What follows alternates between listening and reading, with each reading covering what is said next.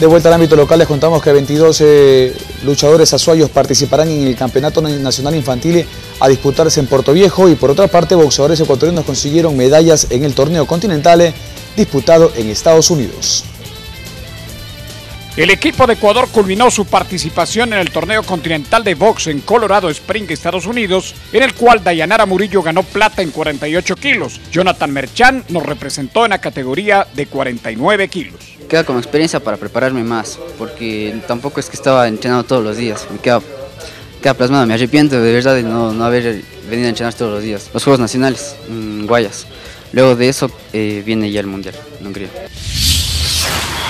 Por otra parte, luchadores de Federación Deportiva de la SUAY trabajan en el complejo deportivo bolivariano con miras al Campeonato Nacional de Lucha Infantil que se efectuará del 18 al 22 de junio en Puerto Viejo. Son las categorías su 10, 11 años y 12, 13 años, que son las categorías infantiles. Estamos tratando de formar un equipo no completo porque se nos va todo el presupuesto, pero un equipo de mediana, la mitad más o menos, como para ir a competir. Las provincias más fuertes por antecedentes se prevé que serán Manabí, Guayas, Pichincha y Los Ríos.